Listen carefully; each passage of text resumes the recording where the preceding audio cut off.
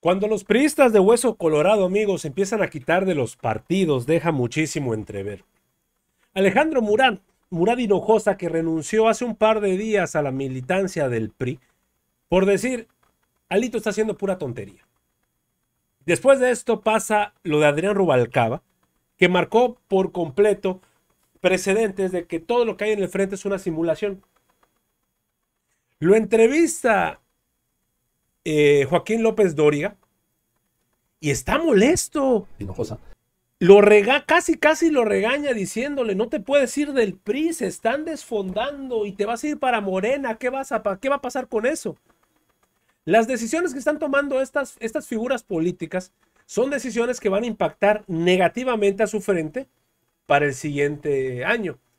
El claro ejemplo es esto.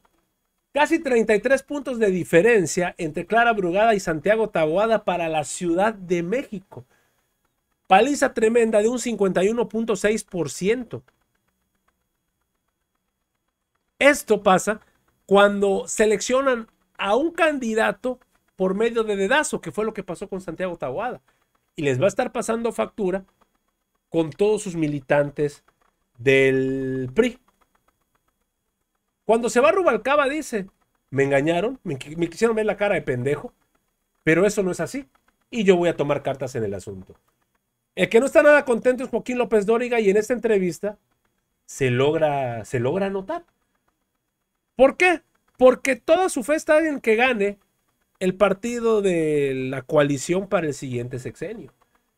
Él quiere recuperar sus privilegios que tenía con los partidos anteriores porque sabe que en la cuarta transformación eso no va a ser admitido. Un Murat renuncia al PRI. Pues yo no. Bueno, pues sí hay uno. Y renunció Alejandro Murat Hinojosa diciendo, diciendo que no avala el rumbo de la actual dirigencia del PRI, o sea, este Alejandro Moreno, ha dado al partido ni a la alianza con el PAN y el PRD. Y que como persona y político me definen las acciones y los resultados. Y que el PRI ha perdido el rumbo, ¿sí? Y que además dice que no lo define como persona ni como político y que el PRI de Alejandro Moreno no corresponde a la visión de México que me anima a seguir participando en la vida pública. A ver, Alejandro Murat, ahora sí que de repente dijiste, ya acabé de ser gobernador, ya no quiero ser priista. No, fíjate que el PRI que existe hoy, pues es el que existía hace dos años. Decirte que no es el PRI en el que yo crecí. Yo coincido contigo. Eh, por eso ahí en mi mensaje dejé muy claro un mensaje que dio hace muchos años Luis Donaldo Colosio. Nos advirtió a todos los priistas y a México que no, México no quiere aventuras políticas, no quiere saltos al vacío. Lo que yo te diría es de que las alianzas son bienvenidas, pero me parece que haberlas hecho como las hicimos ha mermado al PRI, le ha, quitado, identidad al PRI. ¿Y quién ha crecido? Fíjate, MC. Porque el PRI nació siendo un partido que construía instituciones. Y las alianzas que hicimos con otros partidos que son válidas, porque las alianzas se ganan con votos, eh, pero hoy no tenemos un andamiaje normativo, pues lo que ha permitido es que prevalezca otro tipo de identidad. El PAN, por ejemplo, nació siendo un, un partido contestatario, cuestionador al gobierno, y eso es válido. El PRI nunca fue eso. Y yo lo que te diría es de que si vemos hoy los procesos que se han llevado en España o en Argentina, vienen acompañados de procesos democráticos en donde ya en la segunda vuelta, Joaquín, se da la alianza. Y así no mermas, no lastimas a la militancia. Pero aquí, no hay segundas vueltas. Por eso, porque eh, coincido contigo. Entonces, por eso yo señalo que esto es un salto al vacío. Hoy el PI, fíjate, por primera vez en su historia, no va a tener candidato a la presidencia ni a la jefatura de gobierno. Y todos los que somos militantes de los partidos sabemos que el ancla que jala hacia arriba, o hacia abajo también, ¿no? Cuando es malo o mala la candidata, es el candidato presidencial el PRI se dio eh, esa, definición, sin haber sido acompañado, yo creo, de manera respetuosa lo digo, de, una gran oportunidad para haber tenido un gran proceso este, democrático. ¿Y lo que hace los partidos políticos en cualquier parte del mundo han tenido procesos democráticos para elegir a sus candidatos? Claro, eso es algo que se tiene que ir madurando, pero a ver, veamos la política comparada en Estados Unidos. Ves ah, debate tras debate. De, sí, a ti no me gusta debatir, mira, es que aquí el debate es de quien lo necesita. Y los que van arriba nunca han querido debatir. Hay que recordar, en 2006, López Obrador, candidato entonces del PRD, no quiso acudir al primer debate. Y dijo, que debatan ustedes a ver quién sale finalista. Pues yo lo que te diría es de que ese es parte del proceso de madurez que requiere el sistema de partidos y la democracia mexicana, pero ante la realidad que se vive el día de hoy. Eh, me parece que la ruta que estamos este, llevando, pues, o que llevaba, yo por eso ya este, renuncié al partido, no es una que yo este, comparto y prefiero respetar, porque no se trata de venir a criticar, cada quien tendrá que tomar sus determinaciones. Yo veo de que hoy hay otra oportunidad, déjame decirte. También hablaba yo de mi mensaje, en un mensaje que yo veo un país polarizado, en el odio, en el miedo. Me parece que tenemos que regresar a hablar de las cosas que le importa a la gente. Por ejemplo, hablar de la seguridad, hablar eh, de las plataformas de desarrollo regional, hablar del tema educativo, de la salud, y cuáles son las políticas públicas reales. Porque no la, no, la cantaleta de siempre. ¿eh? Por ejemplo, el tema de seguridad, yo ya me sé de memoria Pues si la venimos escuchando desde Fox, que hay que capacitar más a los policías, que hay que meterle más lana a los, a los sistemas de seguridad. ¿Y cuáles han sido los resultados en todos los gobiernos? ¿Sabes dónde está el problema? En la impunidad. Que hoy, que, que hoy no estamos pudiendo generar sentencias a los Eso, criminales. en ¿no? eso sí, coincido contigo, la impunidad es el motor de todo. Entonces- Ahora, te voy a hacer una pregunta personal. ¿Qué te, lo consulta, ¿qué te dijo tu papá? No, esto lo consulté yo, este, en lo personal. Este, quiero decirte que esta es una decisión propia. Sí, sí, pero, Este- pero no tienes que haber hablado con él. Bueno, lo, lo hablas siempre con la familia, lo rebotas y al final siempre te dicen pues la decisión que tú creas y que te apasione, porque ¿sabes qué es la política? Para mí, este, la pasión de servir a México. Y si ya no hay ese ánimo hoy, bueno, pues hay que buscar alternativas en donde seguir aportando. Dime nada más, ¿qué te dijo tu papá? Porque yo creo que, ¿cómo que vas a dejar al PRI? ¿No? Bueno, pues él, como cualquier papá, hagamos a un lado esta parte, pues ¿qué, hace, qué, qué harías tú con tu No, no. Pues siempre lo, lo- lo respaldas, ¿no? Sí. Al final, pues yo te diría de que como padre, pues me respalda. Perfecto. Ahora, ¿a dónde te vas a ir? ¿A Movimiento Ciudadano o a Morena? Mira, yo estaría evaluando, yo estoy planteando ahorita una alianza progresista. A ver, a ver, no da tiempo de ninguna alianza, Alejandro. No, no, no, es, es una alianza para generar, para regresar a este debate que te estaba yo planteando. Sí, sí, pero no. generar política pública. Estamos a seis meses y eh, 12 días de la selección. Por supuesto que yo te voy a decir, no he tenido ningún este, acercamiento con Movimiento Ciudadano. Cuando fui candidato a gobernador, eh, Dante me apoyó, siempre le agradeceré. Pero pues con quien he tenido más simpatía y este eh, y conozco, no hemos tampoco platicado mayormente, es eh, con Claudia, ¿no? Entonces vamos a evaluar, vamos a... a- a- Y con el presidente. López Obrador. Bueno, a ver, con el presidente López Obrador hicimos un trabajo institucional que ha dado resultados. Y Ahí luego, están los y resultados. luego la- ahí están los resultados, pero luego perdiste Oaxaca. Yo gané Oaxaca como candidato. No, sí, sí. El que está, déjame nomás aclarar esta parte, es en las elecciones que tú eres gobernador se perdió Oaxaca. Pero yo lo que te diría es de que los que ganan las elecciones son los candidatos. Cuando a mí me tocó ser candidato, mi elección. Y déjame poner este ejemplo, porque mucha gente a veces cae en esa trampa. ¿Tú qué opinas de Bill Clinton, de Obama y de Merkel? No, yo no, no. no. Bueno, déjame decirte, tres, tres líderes mundiales que en su reelección ganaron. Cuando terminaron su gestión, ¿qué crees que pasó? Los tres perdieron.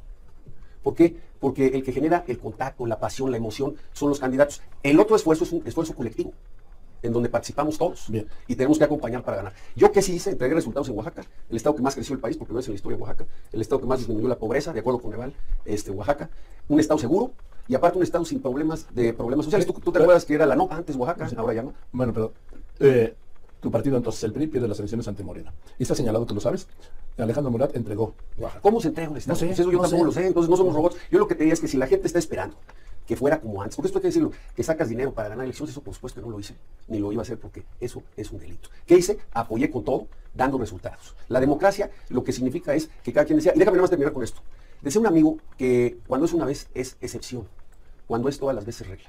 Yo te diría que analicemos todas las elecciones últimas que ha habido en este país, y en todas, en todas, eh, se, se ha perdido. Y si no hubiera ido en alianza, Menos Coahuila y por eso, y si no hubiera ido en alianza, también se hubiera perdido. Los únicos dos estados que se hubieran ganado solos son Querétaro y Coahuila, como vieron señores. Entonces yo lo que te diría es de que la regla hoy es que se ha perdido en todos lados, Sí. con este esfuerzo de la alianza. Entonces lo que a mí pues me hace pensar es que si en todas ha perdido, ¿por qué ahora va a ser diferente? No, yo no, no lo quiero predecir, pero eh, a ti te veo en Morena. Mira, yo lo que estaré es evaluando, este, te digo que tengo una buena relación con Claudia. ¿Ya hablaste con ella? Todavía no hemos platicado ampliamente, pero Pero- trabajé con ella siendo gobernador, hicimos algunas cosas. Y bueno, pues ahorita vamos a enfocarnos en construir este esfuerzo, este vehículo que permita generar política pública para el, para el país, que es la Alianza Progresista por México, y que centre una vez más el debate en lo que le importa a la gente, Joaquín, que son sus problemas. Bueno, yo te veo con el tiempo, insisto, en Morena. Yo lo que te diría es que, en un gobierno de Morena. lo que yo te diría es que a mí me veas con la gente, dándole resultados a la gente, que es lo que me define, las acciones y desde, los resultados. desde algún lugar. Pues en algún lugar en donde pueda aportarle al país, Bueno, siempre. ¿El Congreso por Morena? Te digo, no hemos platicado este, de manera amplia, siempre voy a buscar este, participar, si es en el Congreso, si es en el servicio público, sin duda, siempre que pueda aportarle al país voy a hacerlo. Gracias, Alejandro. Que estés bien. Joaquín, siempre agradecerte esta gran No, oportunidad. gracias. Aquí la situación es algo muy interesante porque Joaquín López Dóriga está encabronado porque sabe que se está yendo del PRI personajes pues importantes para dicha militancia. Pero no se están yendo porque los esté robando Morena, porque les estén ofreciendo algo, sino se están retirando de dicho partido por su dirigente.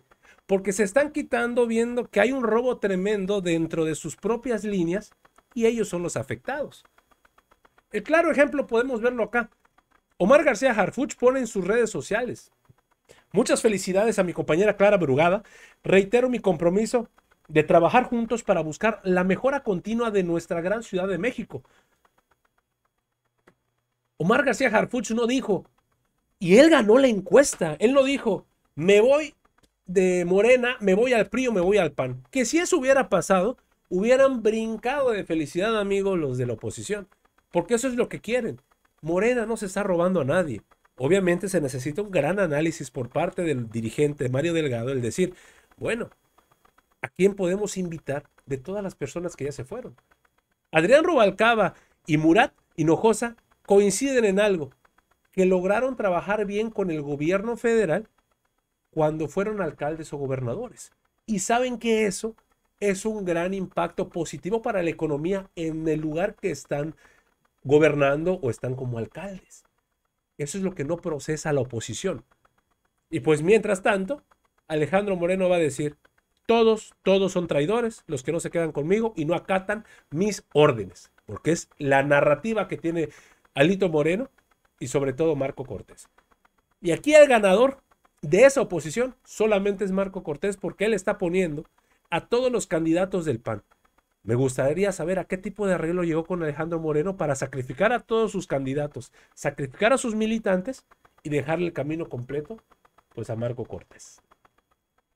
Amigos, hasta aquí la información al momento. Espero que haya sido de tu agrado. Si te gusta este contenido y te gustan estos videos, apóyanos suscribiéndote y regalándonos ese poderosísimo like. Yo soy Pedro para Pregoneros 4T Noticias y te agradezco el tiempo que me regalaste para ver el video y nos estamos viendo en una nueva transmisión. Y recuerden amigos, la 4T avanza, aunque sea algo. Que sigas teniendo un excelente día.